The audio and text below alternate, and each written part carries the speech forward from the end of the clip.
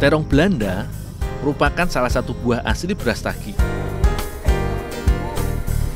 Buah ini sudah ditanam di daerah Brastagi sejak zaman penjajahan Belanda. Buah ini dibawa dari negeri kincir angin dan ditanam di sini. Saat berjalan-jalan di kebun, aku melihat banyak terong Belanda yang sudah matang. Pak, minta terong Belandanya ya Pak ya. Oh ya Dul, ambil aja cukupnya Dul. Ciri terong Belanda yang sudah matang adalah warna buahnya yang berubah dari hijau menjadi kemerahan. Aku memetik banyak buahnya yang sudah matang. Rencananya, aku akan membawanya pada Bu Rusmi.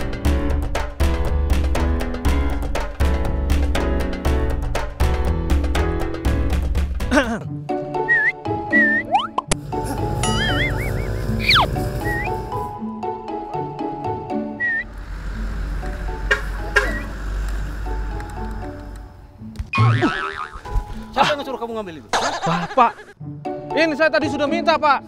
Kamu siapa? Ah, tadi saya sudah minta, saya cari-cari orang tak ada, saya sudah teriak. Saya suruh ibu ini ini.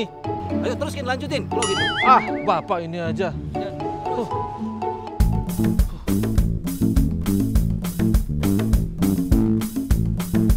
Terong Belanda yang sudah kukumpulkan ini, kubawa pada Ibu Rusmi.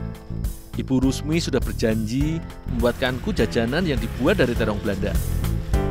Ini mana si gundul ini? Nggak datang-datang si gundul ini. Bu Rusmi sudah menungguku di rumah. Ia telah menyiapkan daun singkut yang akan digunakan untuk membuat kudapan khas tanah karo. Datang-datang si gundul sampai sekarang. Katanya bang bantuin orang, tapi dia nggak datang-datang. Mana nih si gundul ini?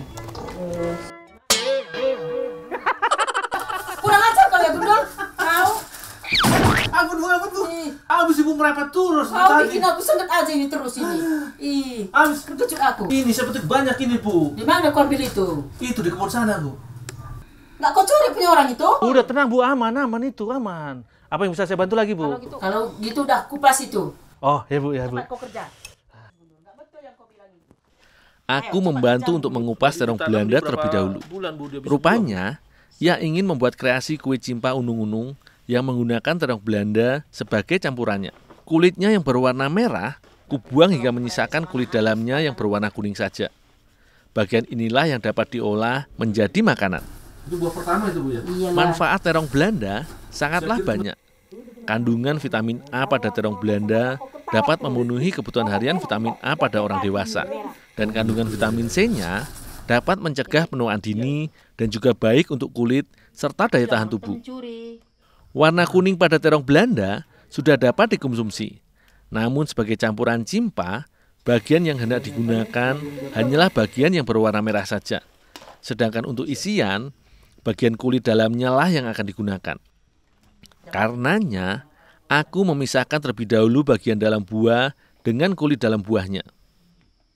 Ada berbagai macam cimpa yang ada di tanah karo. Kali ini, kami akan membuat cimpa unung-unung. Kue cimpa adalah kue yang berbahan dasar tepung beras pulut dan tepung terigu. Kue cimpa biasanya diisi dengan gula merah dan juga parutan kelapa. Kudapan ini adalah kudapan yang wajib ada pada saat pesta karo, terutama pada saat erdang medem atau pesta kerja tahunan. Dengan berbahan terong Belanda, cimpa unung-unung ini akan menjadi inovasi kuliner tanah karo. Titi, di mana kau Titi? Titi.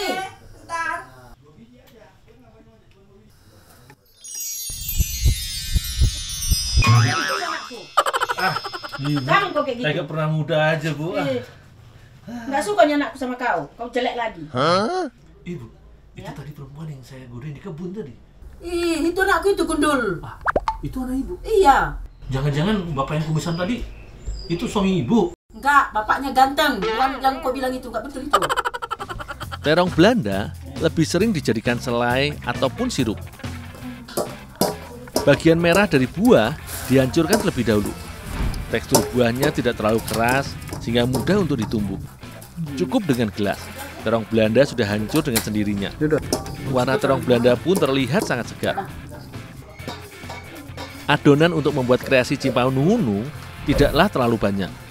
Hanya membutuhkan tepung beras dan juga terong Belanda yang sudah dihancurkan. Bahan tersebut dijadikan satu wadah dan dicampurkan hingga merata. Untuk membuat selai terong Belanda, bagian kulit dalam pada terong Belanda dimasak hingga hancur. Kemudian ditambahkan gula putih dan terus diaduk hingga seluruh bahan hancur lalu mengental. Dalam waktu 15 menit, selai terong Belanda pun jadi.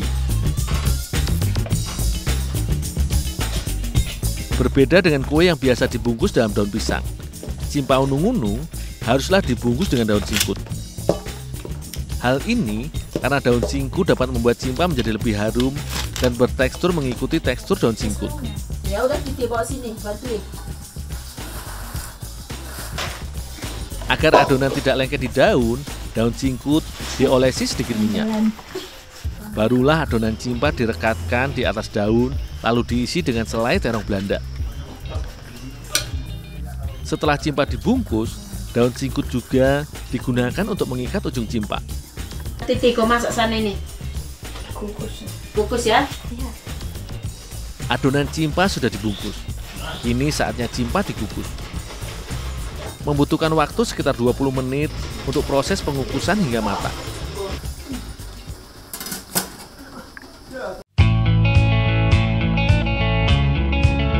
Cimpa unung-unung terong Belanda siap disantap.